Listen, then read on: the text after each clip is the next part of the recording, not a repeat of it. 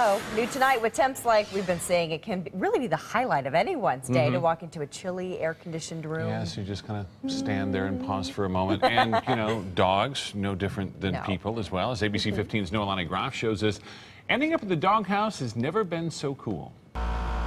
Killian here knows all about the dog days of summer. under the trampoline panting. To Fallon Lawson, if your pup can't be inside, why not let them sweat it out in style? Outside all the time, or they have no shade, or, you know, they're really worried about it, or it's getting out of the vet. Building a business off an idea her dad had 20 years ago? Fallon and her husband now create custom air conditioned dog houses. Then we'd plug it right in. You'd hear the little hum, and we'd run back over there. It's a standard AC unit, plugs right into the wall. We do offer an AC unit with a remote, which is so fun. Paired with user friendly features for the pet owner.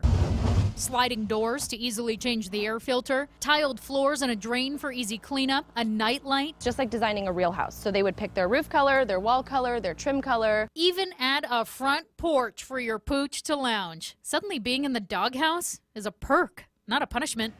I like it. Yeah, the little Victorian thing going on. Yeah, there. the right. It's thing. very great. You know, the doghouses run 300 to $600 depending on size. And Fallon says it's going to add about $40 a year to your electricity bill. Okay, she's also working on a new model to be able to heat the doghouse when needed. So if you're interested, head to abc15.com, click on 15 links, and get your pooch all comfy and cool. Do you see the dog's look on his face? It's just better than my house, yeah. hog heaven, yeah. okay, the D-back.